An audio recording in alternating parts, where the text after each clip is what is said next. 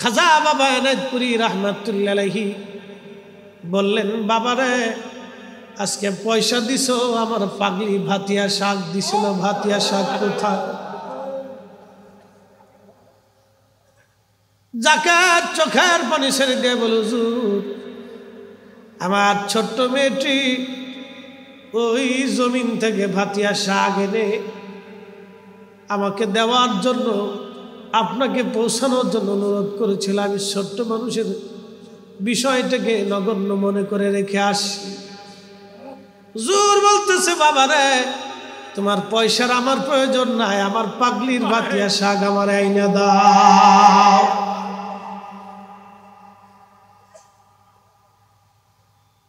উনি কাঁদে আর বলে, হুজুর, আমি তো রেখে আসছি, পাগল রে তারাই তারাইছিলাম আল্লাহর অলির রাডারে ধরা পড়ে গেছে।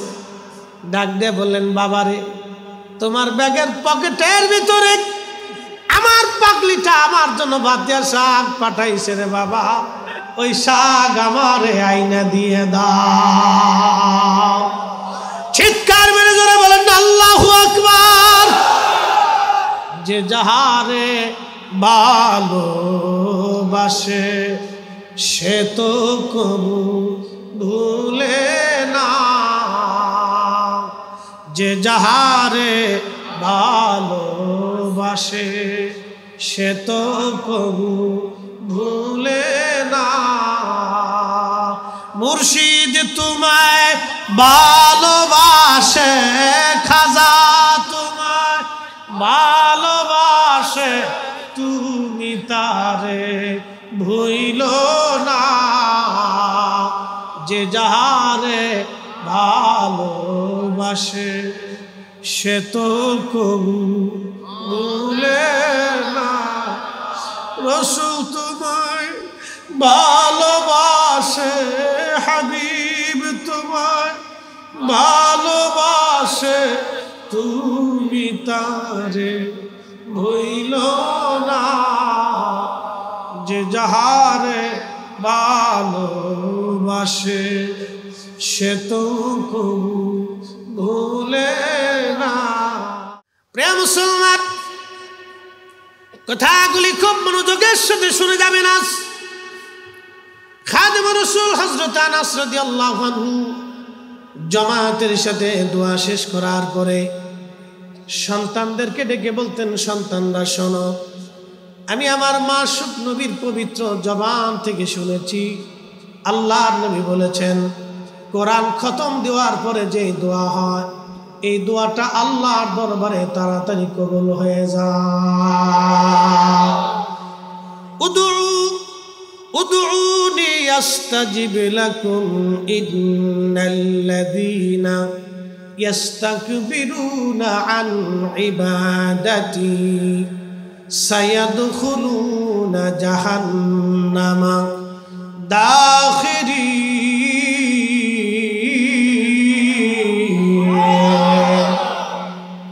সাচ্ছে মুসলমান, ওরা নামে মুসলমান। সাচ্ছে মুসলমান, ওরা নামে মুসলমান। দেখেন না কয় কি? নবী চল্লিশ বছর আগে নবী ছিল না। কত বড় পাড়া হ্যাঁ ঠিক আসতে গেলে ভাই কোরআন ঠিক না ও ঠিক কোরআন বলতেছে ওয়াইদ স্মরণ করেন হে নবী أخذ الله ميثاق النبيين لما آتيتكم من كتاب وحكمة ثم جاءكم رسول একসাথে বলবেন আল্লাহ কাজী নজরুল কি চমৎকার লেখছে? শ্রেষ্ঠ নবী দিলাম তরিয়ে নিতে রোজাসরে পথ না ভুলি তাই তো দিলে পাকুরানের বাণী খুদা। তোমার মেঘের বাণী খুদা। তোমার মেঘের বাণী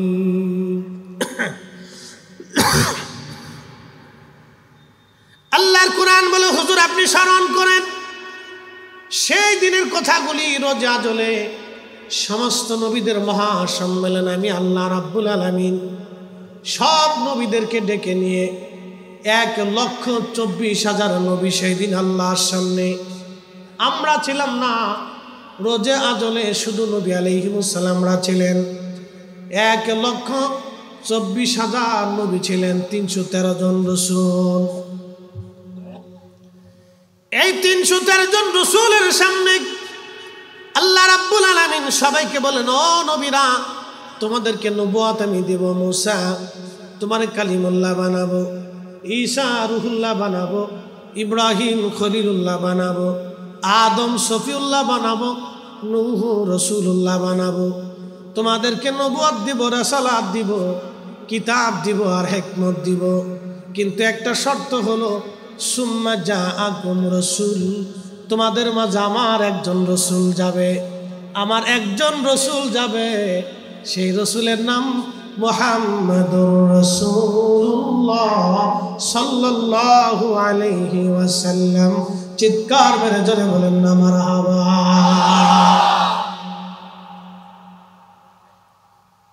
পৃথিবী উল্টে যাবে, সাগর শুকাবে। আল্লাহর কোরআন কখনো মিথ্যা হবে না। কথা বলে? হাত উঁচা করে বলেন, ঠিক কিনা কোরআনের দলিলের উপরে পৃথিবীতে কোনো দলিল হতে পারে না। আল্লাহর কালামের চাইতে পরিশুদ্ধ কথা আর কারও হতে পারে না। আমার রব সৃষ্টির প্রারম্ভে রজে আজলে সব নবীদের সামনে নবীদের থেকে আল্লাহ ওয়াদা নিলেন। তোমাদেরকে নবুয়াদ দিব মুসা ঈসা ও হারুন ইব্রাহিম ইসমাইল। জাবিহুল্লাহ বানাবো। তোমাদেরকে নবুয়াত আমি আল্লাহ দিব। ওরে ইউসুফ, তোমার সৌন্দর্য দিব ইয়াকুব। তোমারে আমি এই বানি ইসরাইলের প্রধান বানিয়ে দেব। রে ইসাক খালিলুল্লাহর সন্তান তোমার বানাবো, আর সুলাইমান পৃথিবীর রাজত্ব তোমাকে দিব, দাউদ তোমাকে আমি আল্লাহ পাক সম্মানিত করব, কণ্ঠ দিব, এমন কণ্ঠের মধ্যে যা দিব, তোমার সুরে সুরে পাখিরা পর্যন্ত মরে যাবে, পশুরা মারা যাবে। এত সুন্দর সুরের লহরি শুনিয়া পৃথিবীর সমগ্র সৃষ্টিগুলি তাজ্জব হয়ে যাবে, আমি তোমাকে সেটা দিব। কিন্তু শর্ত সুম্মাকুম রসুল আমার একজন রসুল তোমাদের মধ্যে যাবে। সুম্মা জাআকুম রাসূলুন মুসাদ্দিকুল লিমা মাকুম লা তুমিনুন্না বিহি এ নবীরা আমার একজন রসুল তোমাদের মধ্যে যাবে। ওই নবী সত্য সহ আগমন করবে। শুনে নাও, ওই নবীর উপরে তোমাদের ইমান আনা লাগবে। একসাথে বলবেন আল্লাহ আকবার। না না আরও জোরে বলেন আল্লাহ আকবার। আদম মোহাম্মদুর রসুল্লাহ না মানলে আদম হতো না। কথা কন না কা। আদম আলাইসাল্লাম মোহাম্মদুর রসুল্লাহ না মানলে আদম হতো না।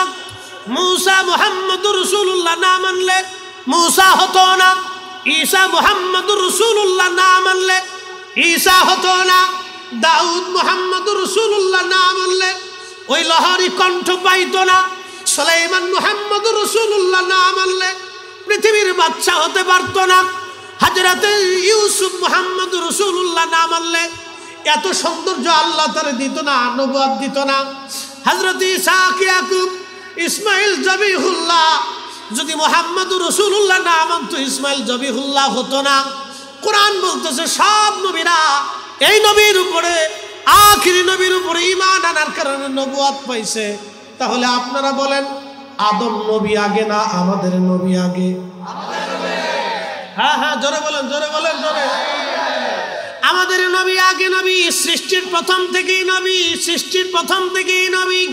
অনেকে বলে, এই আলোচনা অবান্তর, এগুলি আজরাবি ফাজরাবি আলোচনা। আমি বলব, বেটা, তোমার জন্মে ভেজাল আছে। আল্লাহর কোরআন, আল্লাহর কোরআনের আলোচনা কখনো ভেজাল হতে পারে না। ঠিক কিনা আল্লাহর কোরআনে। আল্লাহর কোরআনে, এই শোনেন, আল্লাহর কোরআনে একটা শব্দ কি বেহুদে আছে? আজকে এক বদমাইশির কথা শুনতেছে, বদমাইশ বলতেছে নবীজি চল্লিশ বছর আগে নবত পেয়েছে এগুলি নিয়ে আলোচনা, পর্যালোচনা বেহুদা, আজাইরি আলোচনা। বেহুদা আলোচনা, নিষ্প্রয়োজন আলোচনা। আরে বেটা, তোর জন্মে ভেজাল না থাকলে তুই কথা বলতে পারিস নাকি? আল্লাহর কোরআন নিজে আল্লাহ আলোচনা করেছে। হজরত আদম শফিউল্লাহ থেকে ইসারুল্লাহ পর্যন্ত সব নবীরা আমার নবী সম্পর্কে উম্মাত্রে সতর্ক করছে। উম্মতের সামনে আমার নবীর প্রশংসা করেছে। আরে আমার রসুলের প্রয়োজন না হলে সব নবীরা আমার নবীর প্রশংসা করতো না। আল্লাহ রোজে আজলে সব নবীদের, আমার নবীর উপরে মোহাম্মদ রসুল্লাহ নাম আনাইয়া নবুয়াদ দেয় নাই। এই রসুলের আলোচনাকে যারা আজারে বেহুদা কথা বলবে, প্রত্যেকটা জন্মের ভিতরে ভেজাল আছে ভেজাল আছে। খোঁজ নিয়ে দেখেন ওর মা বাপের কাছে খোঁজ নিয়ে দেখেন, জন্মে ভেজাল আছে। গুস্তাখের রসুল, দুশ্মনের রসুল, আল্লাহর জমিনের দুশ্মন, আল্লাহর কোরআনের আয়াত নিয়ে ফেজগিরি আচ্ছা আপনারা বলেন তো, আল্লাহ রসুলের জীবনের কোনো কথা বেহুদা আছে? হ্যাঁ? একটা শব্দ কি বেহুদা আছে? একটা শব্দ কি অনর্থক আছে? তাহলে রসুল করিম বলছেন কুমতু আব্বালুন নাবিয়্যিনা ফিল খাল ওয়া ফিল বাস। আমি নবী সৃষ্টির প্রথম থেকে নবী, আমি নবী শেষ নবী, আমি নবীর আগে নবী নাই, আমি নবীর পরে নবী নাই। এই আলোচনাকে যারা বেহুদা বলবে, তারা রসুলের কথাকে বেহুদা বলবে। এই আলোচনাকে যারা অনর্থক বলবে, তারা রসুলের কথাকে অনর্থক বলবে। আর রসুল করিমের কথাকে যারা অনর্থক মনে করবে, সব পেটে জন্মের ভিতরে ভেজাল। কথা ক্লিয়ার না ভেজাল আছে? চেয়ারম্যান সাহেব ডাইরেক্ট অ্যাকশন মেরে দিতেছে বাকি সব করে কোনো লাভ নেই। ও সাঁতার ডরায় কথা পেলাম আল্লাহ কোরআন শরীফ থেকে দলিল দিয়েছে কারও যদি কলিজায় সাহস থাকে, আর বাপের বেটা যদি হয়ে থাকে, মার দুধ খেয়ে থাকে, তো সামনে আসতো আমি কোরআন থেকে দিছি আমাকে কোরআনের বিপরীত দলিল দিয়ে প্রমাণ সাবমিট করে দিয়ে দিতে বগি যোগী ও আমাদের কাছে চলবে না। এ জায়গা ভগি যোগী চলবে না। জাগা মতো বহুজনকে ধৈর্য পড়ে একবারে ল্যাংটা করে ছাড়ছে। বহুত জন আছে। আল্লাহ রসুলের ইজ্জতের শানের ব্যাপারে আউলিয়া একরামের শানের ব্যাপারে আমরা চুল পরিমাণ কাউকে সার দেব না। চলবে? কষ্ট হচ্ছে? যারা খিচুড়ি খাইতেছেন, তারা পরে আসে। কিছু আছে, মনাজত ধরার সময় দেখবেন সিরিয়াল ধরে দিচ্ছে ও সার্ভিস দিয়ে ঘুরতেছে কেন? এ জাতির হুশ কবে হবে আমরা জানি না। মসজিদে জুতা সরিয়ে মাহফিলের জুতা সরিয়ে আমি জীবনে মনে আছে, তখন চেয়ারম্যান সাহেব, আমি ওই মাহফিল করলে একশো টাকা দিত। পাঁচশো টাকা পাইলে মনে করতাম যে বিরাট পাইছি। সে অনেক আগের কথা। আমরা ওই স্টুডেন্ট লাইফে তখন ফাজিলে পড়ি। ফাজিলে পড়ি মুক্তি সাহেব পরে আমু পড়ি একসাথে। একই মাদ্রাসা, আমাদের দরবার শরীফ মাদ্রাসা। বুঝতে পারছেন? ওই একসাথে পড়ি, ওই সময় আমরা গেলে একশো টাকা, পঞ্চাশ টাকা, দেড়শো টাকা দুশো টাকা, পাঁচশো টাকা দিত আবার অনেকে করতো জানকে পরে দিবার তা আজও পর্যন্ত আর দেখা হয়নি। বুঝতে পারছেন? জীবনে যে কত দুঃখ আছে, এগুলো কর কায়দা নেই এ কয়দিন আগে সিলেটে একজনে কইছে হুজুর, এই বিকাশে মাইরে দিতেছি। আজও পর্যন্ত তার বিকাশ মারে না। বুঝতে পারছেন? তো ওনাদের সাথে কি আমাদের মাঠে দেখা হবে আর কি আর কি করার আছে? যাই হোক, ওই সময় অনেক কষ্ট করিয়ে আমি পনেরোশো টাকা দিয়ে বাটার এক জোড়া জুতা কিনছিলাম। পনেরোশো টাকার জুতা, একটু ভাব বুক দিয়ে ফাই ফুই দিয়ে, স্টেজে উঠিয়ে, এই ওয়াজ নসিদ করে দোয়া কালাম করে নামে দিয়ে আমার জুতাই নাই। কি তো অবস্থা, এই যে কলাম মাইকটা ধরে তোকে আল্লাহর দোহাই লেগে আমার জুতা জোড়া দিয়ে যা। আর জীবনে কোনো দিন দেয় নাই এক মুসল্লিকে হুজুর, কি করবেন আর? মৌলানা সাহেব, এই আমার এই প্লাস্টিকের এক সিরাজ জুতা আছে, লয়ে যান যান, নাই মামার সাথে কানা মামা ভালো পাই তো দিতেই হেতা পাই দিয়ে পরে বাইতেছিলাম এরপরে কানে ধরে তবা করছি, আর বালা জুতা কিনে কোনোদিন মাহফিলে যাইতে সবাই অনেকে আমার জুতার দিক চাই থাকে ঘটনা কি? হুজুরের দামি, গাড়ি দামি, চশমা দামি, সব দামি চেয়ারা বলা, পোশাক বলা, কিন্তু জুতা কালাকে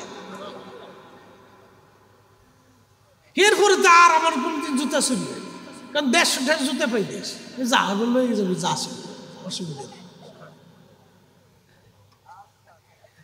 আমরা কবে ভালো হব যে আমরা এখনও পর্যন্ত মসজিদের জুতা চুরি চালি কি কথা কর না ঠিক কিনা? আমি নবী না মানিলাম, কি যে ভুল করিলাম।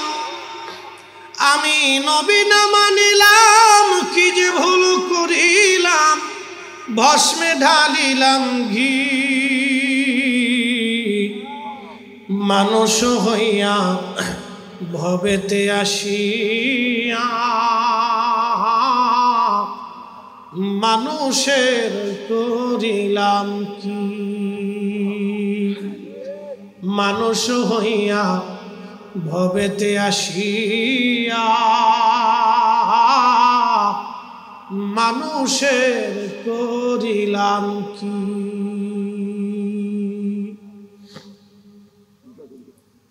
বন্ধু আমার এই মানুষ করার জন্যে, মানুষ বানানোর জন্যে খাজা বাবা এনায়তপুরি রহমাতুল্লাহ আলাইহি একটা মাদ্রাসা খুলেছিলেন।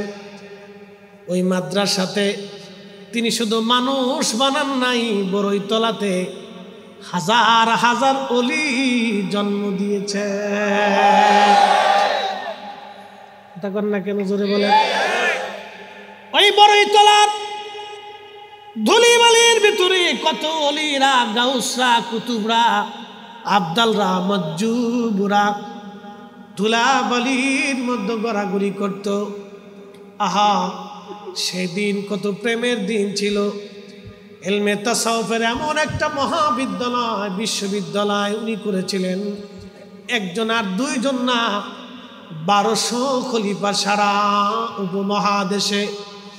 জায়গায় জায়গায় প্রদীপ জ্বালাইয়া তারাও এক একটা মাদ্রাসা আমার কাজ খুলে দিয়ে, এই মশলাকে এনায়তপুরে যদি আমরা ধরি, তাহলে আমরা সব সব যদি একসাথে বের হয়ে আসি, মিনিমাম হলো এক কোটি মানুষ আমরা দাঁড়া করাইতে পারব। কথা বলেন না কেন? আমি ধরলাম আর বেশি তো আছে, ও তো আমারও হিসাব আছে। আমি এক কোটির হিসাব ধরেছি। খাজা বাবা আমার দাদু পীর, ওনার মাসলাকে ভারত ও বাংলাদেশে বারোশো খলিফা।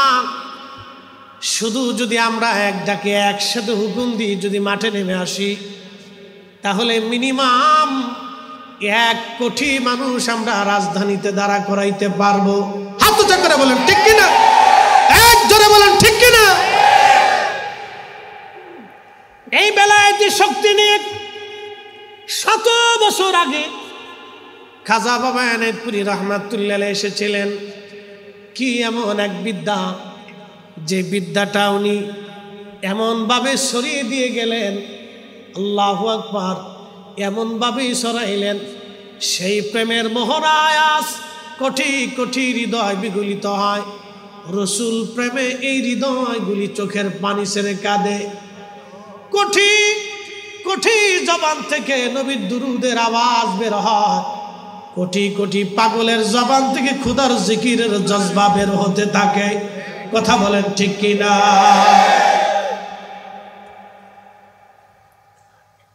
আমি আগে আলোচনা করেছি শানের আসালাত যে রসুলের আলোচনা তুলে ধরেছি, সারা রাত্র কেন সারা জীবন যদি ফরিদির চলে যায়? আলোচনা কোনো দিন শেষ হবে না। আহা, ওই প্যারা নবীর গুলামির জন্যে, গোলামির জন্যে সারা জীবন আল্লাহ অলিরা আমাদেরকে দীক্ষা দিয়ে গেছেন। যার কারণে জ গত সৃজনরে দেখো চন্দ্র, সূর্য, তারা শূন্য ভরে। আসে অচল নিশ চলে ধরা ধরে নবী দবিনে ভাব সবই মিশে রহমতল্লি আলমী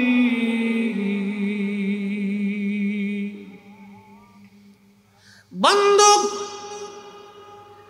উত্তরবঙ্গবাসী খুবই মনোযোগ দিয়ে শুনে যান। এই আল্লাহ কুলির কথা আমি কীভাবে বলব? শুধুমাত্র একটা কথা বলে যাই, ওনারা আমাদের কাছে কোনোদিন সম্পদ চান নাই। ওনারা আমাদের কাছে হৃদয়ের ভালোবাসা চেয়েছিলেন। একটা ঘটনা প্রসিদ্ধ, মাঝে মধ্যেই আমি বলে থাকি। এক ভক্ত আশেক জাকের বহুদূর থেকে এনায়তপুর দরবার শরীফে উরুস শরীফ করার জন্য রওনা হবে। উনি ওনার ব্যাগের মধ্যে কাপড় চোপড়গুলি জোগাড় করতেছিলেন। ছোট্ট মেয়েটা ওই জমিন থেকে ভাতিয়া শাক আপনারা হয়তো চিনেন। ভাতিয়া শাক চিনেন কিনা? আমাদের ফরিদপুরে বলে ভাতিয়া শাক গম খেতে পাওয়া যায় এগুলি। ওই শীতের সময় গম খেতে ভাতিয়া শাকগুলি হয়। আপনাদের দেশে কি বলে? হ্যাঁ? বতুয়া। বতুয়া শাক। আমাদের দেশে কয় ভাতিয়া শাক। এ দেশে এসে হইল বতুয়া। সিলেক্টি মাছ খিতাও বা সোনা বালা আসুনা সকাল লেবু খাইতা না বিকেল লেবু খাইতা?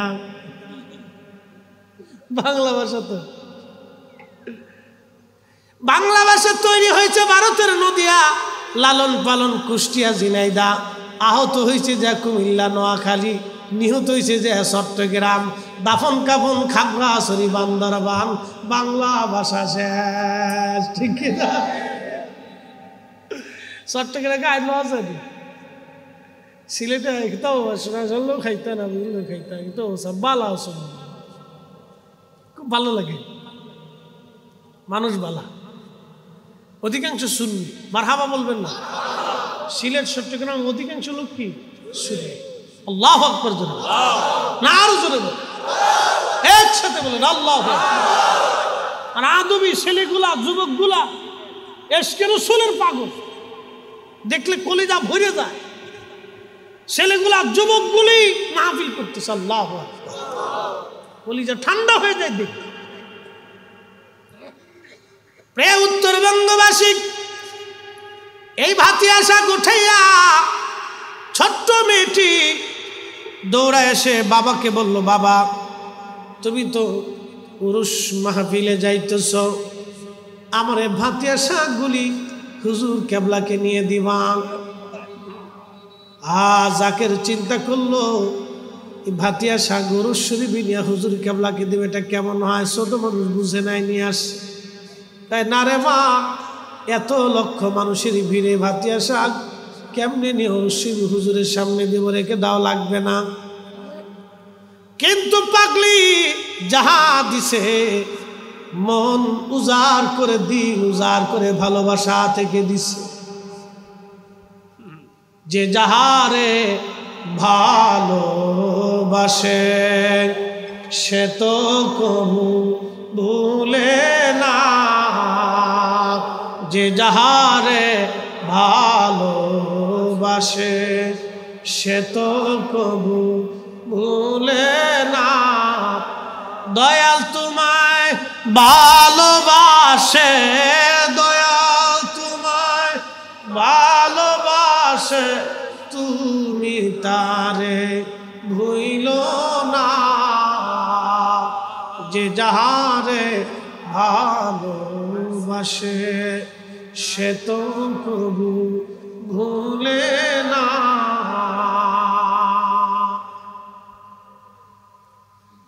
আল্লাহর অলির বাড়ি চলে আসছে। পাগলি ভাতিয়া শাকগুলি ব্যাগের পকেটের ভিতরে লুকায় রেখে দিছে। বাবা জানে না আমি মেয়েটা ব্যাগের পকেটের মধ্যে ভাতিয়া শাকগুলি লুকায় রাখছে। ব্যাগ নিয়ে পুরুষ শরীফে এনায়তপুরে চলে আসছে পাগল। কিন্তু ছোট্ট মেয়েটা তো অনেক দূরে রাস্তা আসতে পারে নাই। আল্লাহ অলির সামনে কিছু ব্রিটিশ আমল তখন তো পয়সা ছিল। কিছু পয়সা করে নিয়ে হাতে নিয়ে বলল, হুজুর, পুরুষ শরীফের কিছু নজরান আনছি, দয়া করে আপনি গোলাম, এই গোলামের কাছ থেকে কবুল করে নেন। খাজা বাবা এনায়তপুরি রহমাতুল্লাহি বললেন বাবারে আজকে পয়সা দিছ, আমার পাগলি ভাতিয়া শাক দিছিল, ভাতিয়া শাক কোথা জাকাত চোখের পানি ছেড়ে দিয়ে বল আমার ছোট্ট মেয়েটি ওই জমিন থেকে ভাতিয়া শাক এনে আমাকে দেওয়ার জন্য, আপনাকে পৌঁছানোর জন্য অনুরোধ করেছিল। আমি ছোট্ট মানুষের বিষয়টাকে নগণ্য মনে করে রেখে আসি। জোর বলতেছে, বাবা রে, তোমার পয়সার আমার প্রয়োজন নাই, আমার পাগলির বাতিয়া শাক আমার আইনা দাও।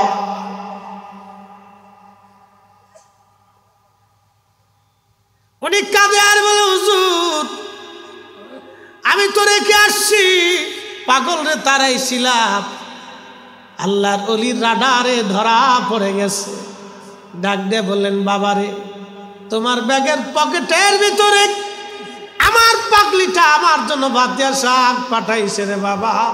ওই শাক আমারে আইনা দিয়ে দাও। চিৎকার মেরে ধরে বলেন, আল্লাহু আকবার! যে যাহারে ভালোবাসে, সে তো কবু ভুলে না। যে যাহারে ভালোবাসে, সে তো কবু ভুলে না। মুর্শিদ তোমায় ভালোবাসে, খাজা তোমায় ভালোবাসে। তারে ভুইল না। যে যাহারে ভালোবাসে, সে তো কবু ভুলে না। রসুল তোমায় ভালোবাসে, হাবিব তোমায় ভালোবাসে, তুমি তারে ভইল না। যাহারে ভালোবাসে, সে তো কবু ভুলে না। আল্লাহুম্মা সাল্লি আলা আহ, আল্লাহু আকবার। হ্যাঁ জবান খুলে।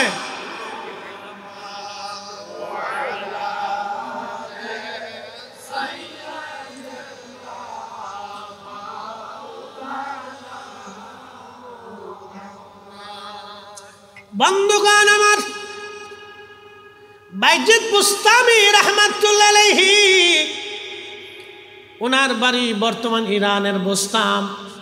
বোস্তাম থেকে খেরকানে বহু দূরের রাস্তা। পনেরো দিন, এক মাস লাগতো পায়ে হেঁটে। আল্লাহর অলি বোস্তাম থেকে খেরখানে প্রত্যেক বছর আসতেন। ওই খেরখানে আল্লাহর পথের কিছু শহীদ ছিল। যারা ওই জমিনে দিন কায়েম করতে এসে শহীদ হয়েছিল। তাদের মাজার জিয়ারত করার জন্য বাইজিদ বোস্তামি রহমাতুল্লাহ প্রত্যেক বছরে হাজিরা দিতেন। একবার জোরে বলা যাবে কি মারাহাবা আর আজকে ওরা কারা? জিয়ারতের কথা বললে কয়, পূজা করতে যাইতেছ? ওই শাহজালালের মাজারে আছে কি? খাজা বাবা আজমিরির মাজারে আছে কি? এখন প্রশ্ন করি, জবাব দিবেন, অলিরা মাটির উপরে অলি মাটির নিচেও তারা অলি। স্বর্ণের টুকরা মাটির উপরেও স্বর্ণ, মাটির নিচেও স্বর্ণ। আর হীরার টুকরা মাটির উপরে হীরা, মাটির নিচে গেলেও হীরা। কোরআন উপরেও কোরআন, মাটির নিচেও কোরআন। আল্লাহর কোরআন বলতেছে, ইন্নাল্লাযীনা আমানু ওয়া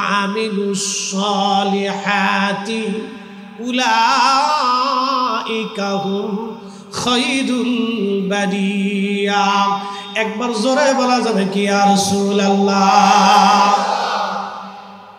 কোরআন কোরআনে ভুল আছে? এক, একসাথে বলেন আছে? কোরআনের উপরে কোনো দলিল আছে? আল্লাহর কোরআন বলতেছে ইমানে আমলে পাকা হইয়া যারা অলি হইয়া কবরে চলে যায় উলা ইকাহু নবমণ্ডল ভূমমণ্ডল নভমণ্ডল ভূমমণ্ডল সাত আসমান, সাত জমিন, সাত আসমান, সাত জমিন। কোরআন আজকে বুঝে যান। আমি হাদিসের দলিল দিতে যাব না। হাদিস বললে কবে এটা জয়ীব, এটা মনকার, এটা জাল, এটা শাসান নানান কিসে কাহিনী ওরা করে, এই খালি খুশাখুশি, তালাতালি করে। একবারে ডাইরেক্ট কোরআন শরীফ থেকে আজকে মেরে দিয়ে যাচ্ছি। আল্লাহর জবানে মালিক বলতেছে উলা ইকাহুম খাইরুল বারিয়া জগতের মধ্যে তারা সেরা। সাত আসমান, সাত জমিনের মধ্যে যাহা কিছু আছে, কোটি কোটি আল্লাহর সৃষ্টি আছে। জিন আর মানব ফেরেস্তা দানব। আল্লাহরে মহা সৃষ্টির ভিতরে বিজ্ঞানের গবেষণা অনুযায়ী চার লক্ষ প্রজাতির জীব আর জীবন আছে। বিজ্ঞানের গবেষণার বাহিরে আরও কোটি কোটি জীব আর জীবন আছে। আল্লাহ বলতেছেন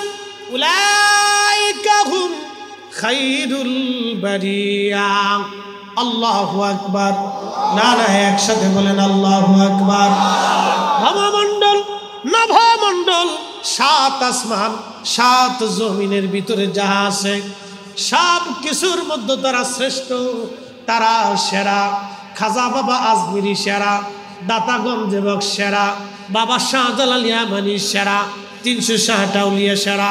হুজুর গাউসে পাক সেরা। খাজা বাহাউদ্দিন লক্ষ্মণ বুখারি সেরা। মুজাদ্দিদ আল ফেসানি সেরা। শাহ আব্দুল হক মুহাদ্দিস দেহলভি সেরা। শাহ বদিউল্লাহ মুহাদ্দিস দেহলভি সেরা। ফতে আলী রসুলের নামাজ সেরা। সৈয়দ ওয়াজিদ আলী রহিমাহুল্লাহ সেরা। খাজা বাবা এনায়তপুরি সেরা। উনার খলিফারা সেরা, আলা হজরত সেরা, যত অলিরা ছিলেন সবাই সেরা। কি কথা কর না কেন? আমাদের ভাষায় না আল্লাহর ভাষায়? না না, একসাথে বলেন, আমাদের না আল্লাহর? আমার ভাষায় না আল্লাহর ভাষায়? আমাদের ভাষায় না আল্লাহর ভাষায়? আবু বক্কর সিদ্দিক ফুরফুরা, আমি সেরা। এই কথা কর না কেন? মুজাদ্দিদ জামান আবু বক্কর সিদ্দিক ফুরফুরা, আমি রহমাতুল্লাহ সেরা। আমাদের ভাষায় সেরা না, আল্লাহর ভাষায় সেরা সেরা সেরা সেরা। তারা ছিলেন সেরা, শ্রেষ্ঠত্ব নিয়েছিলেন। আল্লাহ বলতেছেন জাযাউহুম ইনদা রাব্বিহিম জান্নাতু আদনিন তাজরি মিন তাহতিহাল আনহারু খালিদিনা ফিহা আবাদা।